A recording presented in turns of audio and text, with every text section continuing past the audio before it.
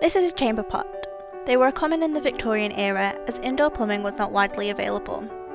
Before houses had indoor toilets, an outdoor privy was the norm.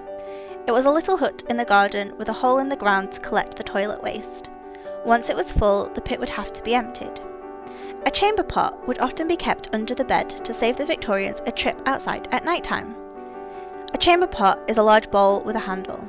It had many nicknames. It could be called a potty, a thunder pot, and even a gazunda.